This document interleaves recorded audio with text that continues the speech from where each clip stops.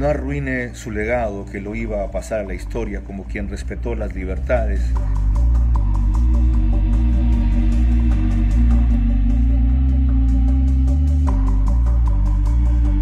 No lo hacemos porque lo soplan y se caen. ¿Sí? Lo soplan y se caen. Nosotros en la prensa también los hemos tolerado bastante. Ay, si pudiéramos criticarlos al nivel que criticábamos al tirano anterior. Cuando menciones mi nombre, me avisas, hijo de la gran puta, y te voy a ver a la esquina.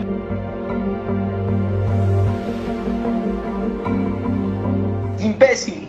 Y ya sabes, mariconazo, cuando menciones mi nombre, me avisas, hijo de la gran puta, y te voy a ver a la esquina.